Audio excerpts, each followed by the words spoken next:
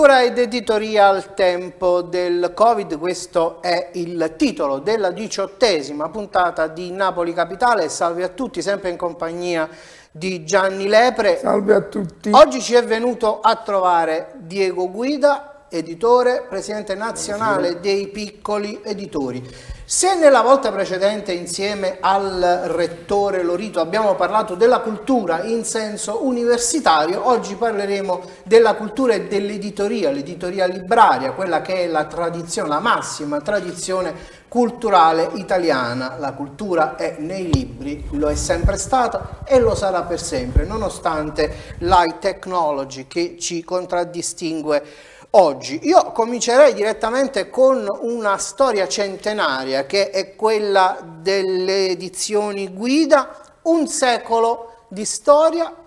Diego Guida, sempre work in progress con la tua casa editrice, non si finisce mai di imparare, ma soprattutto non si finisce mai di sfornare libri. Aggiungo, non si finisce mai di studiare, perché per riuscire ad raggiungere anche dei risultati significativi, e mi riferisco a quello nostro di imprese che ti ringrazio di aver voluto ricordare, cioè 100 anni di storia, eh, significa ovviamente un retroterra culturale, imprenditoriale alle spalle di tre generazioni, io rappresento la terza generazione, che vuole eh, essere comunque sempre attenta non solo alle variazioni, alle modifiche del mercato e quindi di quanto per il libro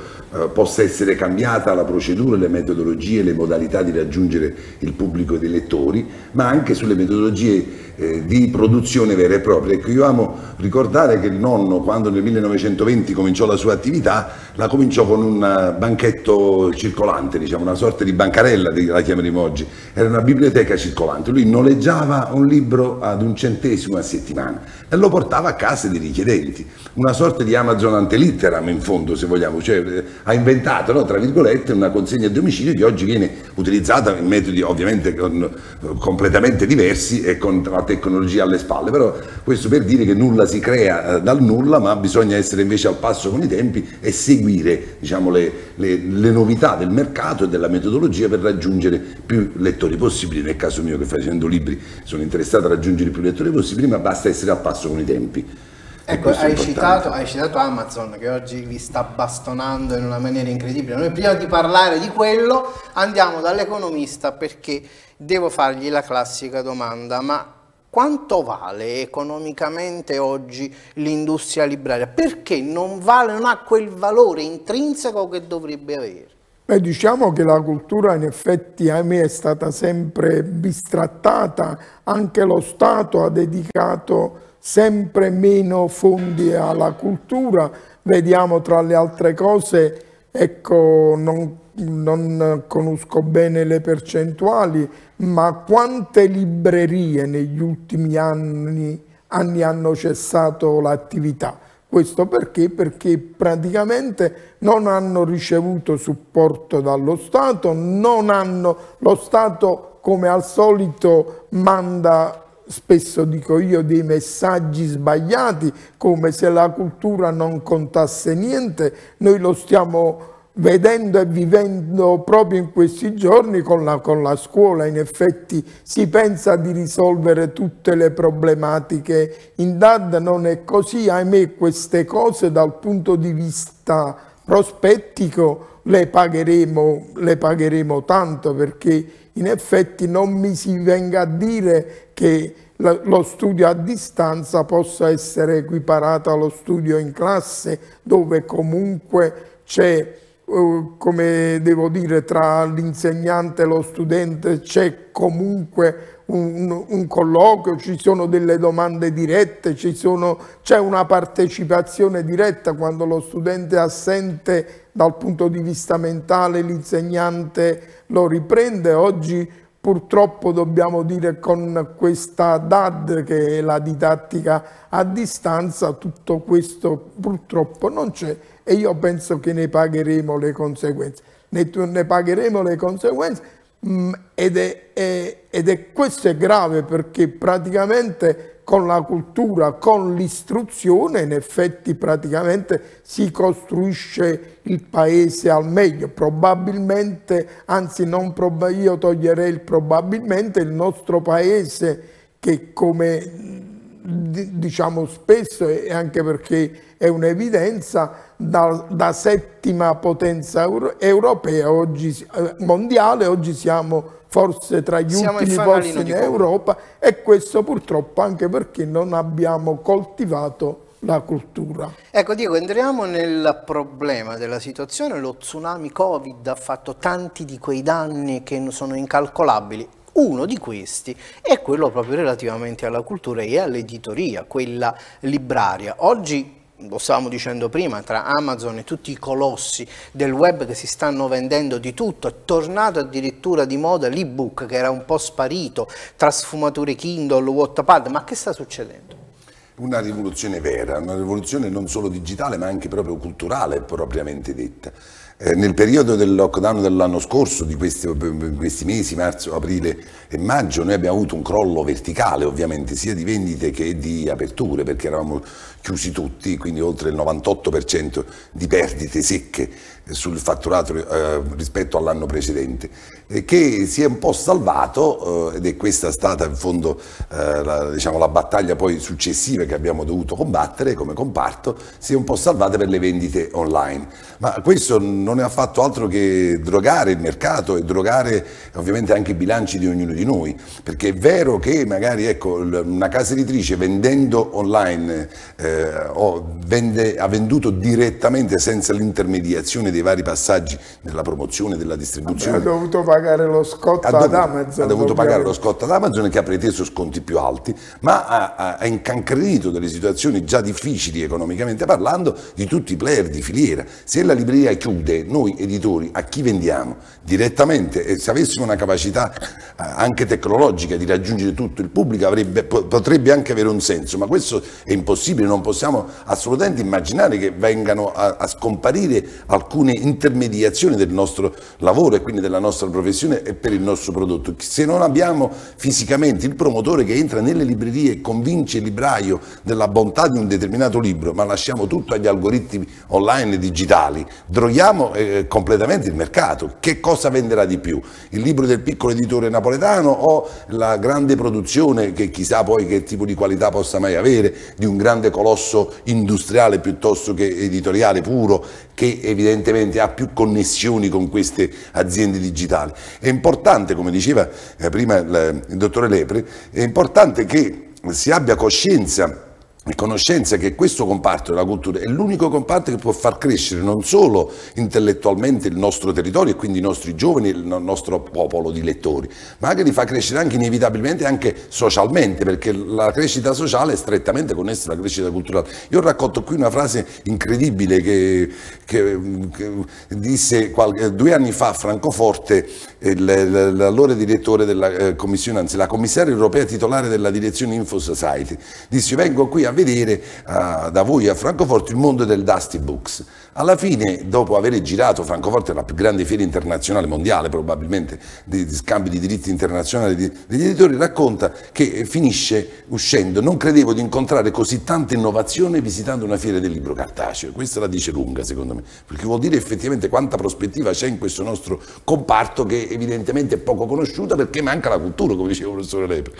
Ecco Gianni, una volta un ministro della Repubblica ebbe a dire che con la cultura non si mangia, però non diciamo chi è stato perché, perché, perché è inutile. Ma chi non mangia perché, perché, è inutile, perché è inutile. Ma il problema è un altro. Il fatto che con la cultura non, non, si mangia sta continuando ad andare avanti perché nel recovery plan che noi abbiamo, visto un po' quella che è la bozza, penso che sia pure quella definitiva, ma non ci sta tutta questa grande liquidità rivolta alla grande tradizione culturale italiana nel, nel modo più assoluto e questo come detto è molto grave perché va praticamente a penalizzare quella, soprattutto a parte, eh, non parliamo della cultura di noi, di noi, persone adulte che è altrettanto importante, ci sono persone che venute da, da, da, zero, man mano anche culturalmente si sono evolute, magari sono persone che sono arrivate a, a, certi a certe vette pur partendo da zero, perché? Perché nel frattempo hanno studiato, hanno letto, hanno sentito e quindi praticamente è importante che la cultura abbia un peso specifico perché è attraverso la cultura che noi andremo a formare i nostri, i, i nostri dirigenti di domani, i nostri manager di domani, ovviamente minore eh, intensità culturale avranno e minore e peggiore sarà la posizione dell'Italia nell'ambito mondiale. Ecco, dico, mm, prima di lasciarci per la pausa pubblicitaria, ma la situazione diciamo, della, mm, di, questa, mm, di, questa, evoluzione per quanto riguarda le, le edizioni librarie, oggi in maniera particolare, che con lo tsunami del Covid, con, con, con i lockdown diciamo, abbastanza insensati, co come stiamo oggi messi? Ora siamo in una fase di interlocuzione con il mercato e con noi stessi. Eh, per esempio un dato interessante è stato quello eh, dei periodi di chiusura delle zone rosse del lockdown eh, relativo ai libri universitari perché eh, stranamente eh, non essendoci più frequentazione delle università e quindi delle facoltà dei ragazzi che si incontrano fra di loro, il mercato dell'usato è praticamente crollato, il mercato delle fotocopie è praticamente crollato, per cui tutti gli editori che eh, hanno in catalogo volumi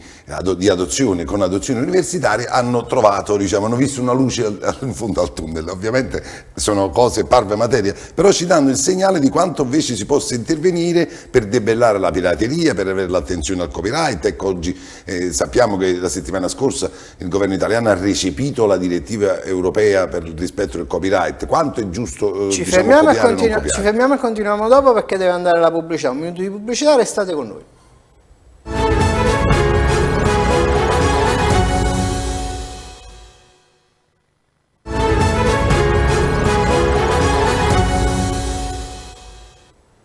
Torniamo in studio, Diego, stavamo parlando di fatturati, è una cosa che interessa abbastanza tutti i nostri telespettatori e radioascoltatori di Radio Amore.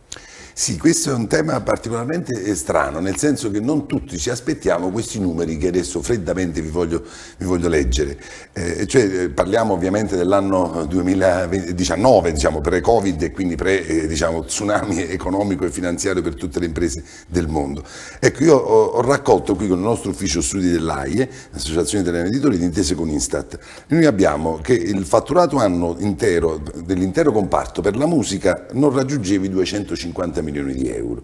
Il teatro non raggiungeva i 400 milioni, i games superavano di poco il miliardo e 100, i canoni della tv arrivavano intorno a un miliardo e 8 e, udite udite, il fatturato complessivo del mondo dei libri 3 miliardi e 200 milioni il che significa che obiettivamente e concretamente è la, il comparto culturale maggiormente interessante per una crescita culturale del paese e quindi è, è, è, obiettivamente il libro è il più straordinario vettore di trasmissione di cultura e di conoscenza che noi abbiamo a disposizione. A dispetto di tutti gli online, i web e tutte queste cose, il libro cartaceo rappresenta ancora il caposaldo del trasferimento culturale della conoscenza. Ecco, Diego, prima di passare la parola al, all'economista, io volevo volevo capire una cosa, perché è una curiosità e penso di interpretare la curiosità di tutti quelli che ci stanno guardando ed ascoltando. Ma se continuiamo in questo modo, con la DAD, come diceva Gianni prima, ma i libri che fine fanno? Se tutto dobbiamo farlo a distanza, online, il libro di carta, quello che noi abbiamo sempre sfogliato, sottolineato con la matita o con, con, con qualsiasi cosa, che fine fa? Beh, probabilmente bisognerà ripensare proprio tutto il sistema dell'istruzione. Già nel mondo universitario esiste il sistema del Common Creative Commons, cioè ognuno di noi scrive un articolo purché venga riconosciuto, o un capitolo diciamo, su un determinato argomento che viene ad assommarsi a quelli degli, di chi ha scritto prima per rendere di patrimonio comune, diciamo così, una ricerca scientifica e quindi un, un, un primo risultato che può diventare un secondo e un terzo a seconda dei contributori. Questo naturalmente significa ammazzare il libro cartaceo, è fuori dubbio così come è morto il settore delle riviste scientifiche, una volta erano le riviste scientifiche, le cartacee che davano contezza delle ricerche scientifiche, oggi il cartaceo non esiste praticamente più nell'ambito della rivista diciamo, universitaria, ma soprattutto la rivista di alta tecnologia di, di, di prodotto. Diciamo. Eh, e quindi alla stessa maniera il mondo universitario è già praticamente crollato, la scolastica si sta salvando giusto perché è ancora incerto tutto il comparto tra i rappresentanti, i venditori, i distributori, i professori è ancora molto complicato. A formare una classe di docenti che è in grado di, di tenere una lezione in aula senza un libro cartaceo è molto difficile, significa cambiare radicalmente proprio un modo culturale di intendere la scuola. Ma è quello che è certo che scolastiche e universitarie, come noi le chiamiamo in termine tecnico, andranno certamente a ridursi e a diminuirsi. Tra l'altro lo vediamo nei paesi anglosassoni, ad esempio i libri di scuola vengono offerti direttamente ai ragazzi all'atto dell'iscrizione iscrizioni, quindi cambia completamente lo scenario commerciale e industriale, imprenditoriale in questo tipo di settore. Quello che resterà certamente sempre eterno, dico io, e lo spero, ma anche le bolle internet degli anni 80 piuttosto che di questi ultimi anni delle, del cosiddetto ebook, del libro digitale che ci hanno di, dimostrato che più del 4-5% del mercato non si riesce a raggiungere, parlo a livello globale di una percentuale a livello globale, non solo mercato Italia, eh, e il libro di lettura che resta il più straordinario strumento per viaggiare con la fantasia fantasia e che quindi non potrà scomparire. Gianni, eh, praticamente da quello che abbiamo capito la cultura sta facendo un po' la fine dell'economia, l'economia già è una materia spersonalizzata al 100%, poi è quasi esclusivamente matematica, la cultura sta diventando la stessa cosa. La cultura in effetti, come detto, sta pagando le conseguenze di, le conseguenze di come lo Stato manda, manda i messaggi, l'ho detto, detto già prima, tra le altre cose, a parte gli investimenti nella cultura, noi ancora una volta vediamo che è un comparto che è in grande crisi, ma che comunque prospetticamente è quello che può dare la cultura ai nostri futuri, futuri governanti non è, non è tenuta conto, non è aiutata. Tra le altre cose, come sempre io dico, lo Stato è forte con i deboli e debole con i forti, perché poi tutto sommato loro stanno ricevendo Uh, come dire, la concorrenza dei grandi colossi del web, tutti quanti sanno che i grandi colossi del web scontano una tassazione al, al 3%, una statistica ci ha, ci ha detto che negli ultimi eh, cinque anni, eh, dal 2015 al 2019, i colossi del web in Italia, parlo, hanno risparmiato ben 45 miliardi di tasse. Ebbene, Ovviamente se noi andiamo a considerare, è vero che il libro paga un'IVA, sconta un'IVA ridotta, però la tassazione, quindi l'IRPEF a cui viene sottoposto una casa editrice è sempre la stessa, quella del 30-35% e loro ricevono la concorrenza di chi? Già essendo forti diventano ancora più forti perché lo Stato gli dà la possibilità di pagare il 3% di tasse. Si va alla distruzione, noi siamo degli autolesionisti praticamente eh, qui da noi, ecco l'esterofilia in effetti paga sempre e non viene, eh, io in questo senso sono sovranista, è bene che si sappia, per me veniamo prima noi e poi gli altri. Ecco Diego, ehm, ripartiamo da questa situazione perché volevo chiederti un'altra cosa che è sempre una curiosità ed interpreto la curiosità di tutti quelli che ci stanno guardando e ascoltando, ma tuo nonno nel 1920 si sarebbe mai aspettato la DAD, per esempio, oppure che i libri non li sfogliava più nessuno, o che l'industria libraria scolastica spariva completamente. Voi avete vissuto sull'industria dei libri scolastici. Sì, Sicuramente abbiamo vissuto e siamo cresciuti in questo modo, quando la scuola rappresentava gran parte del fatturato di tutte le librerie napoletane. E di fatti questa crisi della scolastica e dell'università era rappresentata anche la chiusura di tantissime sigle diciamo, commerciali, librarie sia sul territorio napoletano che su tutto il territorio meridionale perché purtroppo come diceva giustamente il professore prima e mi ha fatto venire la pelle d'oca diciamo, eh,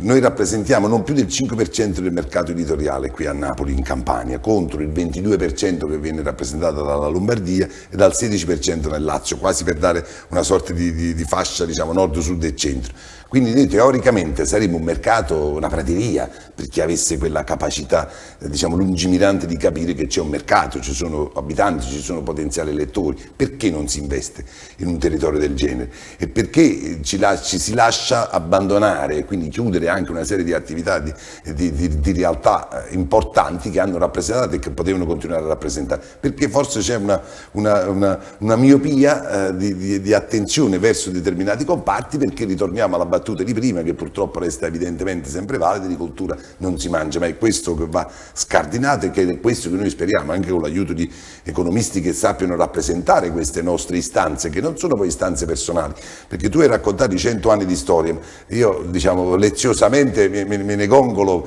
però mi permetterei di dire, senza diciamo, timore di, essere, di apparire borioso, che non sono cento anni di storia di, della sola guida, sono cento anni di storia di tutto il territorio napoletano che ha, ha, ha goduto e ha vissuto e ha organizzato organizzato ed ha, raccolto ed accolto intellettuali che sono venuti in cento anni su Napoli, che, non, che, sono venuti così per avventura perché invitati da guida, ma perché evidentemente vedevano in Napoli un mercato, un'attenzione, una potenzialità. una potenzialità. E questo che è sparito purtroppo oggi, che tocca a noi della terza generazione dopo cento anni, che ci dobbiamo inventare, DAD, io ho dei numeri di DAD qua che fanno tremare i polsi, per quanta attenzione c'è su questo, ma invece dobbiamo ricercare di, di tornare diciamo, al rapporto in presenza, cercare di, di valorizzare valorizzarlo non con i metodi di prima, ma con un criterio, un sistema nuovo che nonno non poteva immaginarlo cent'anni fa e che noi ancora oggi purtroppo non siamo, credo che siamo in grado di, di, poter immaginare. Noi partiamo con il Salone del Libro dal primo, il 2, il 3, il 4 luglio a Palazzo Reale, sotto i porticati all'aperto, vediamo di, di, di riattivare un po' di attenzione verso questi temi incrociamo le dita. Ecco Gianni, cosa, un minuto e mezzo ci resta, che cosa ci attende sotto questo aspetto? Io facevo, facevo, una riflessione prima quando Diego parlava di DAD e, e, ovviamente riflettevo anche sullo smart working che è tanto osannato in questo momento, io non lo so, io ho l'impressione che eh, chi osanna la, la, la, lo smart working non abbia percezione di quello che succede tutti i giorni alle persone che hanno contatti con gli uffici pubblici e io lo posso dire nell'ambito della mia professione quando c'è chi lavora a distanza, in effetti i nostri tempi burocratici per ottenere un'autorizzazione, per avere un colloquio, per cercare di capire una pratica a che punto sta, questi tempi si sono decuplicati, per cui come si fa a, ecco, ancora una volta a, a, a fare la DAD a fare il lavoro, il lavoro a distanza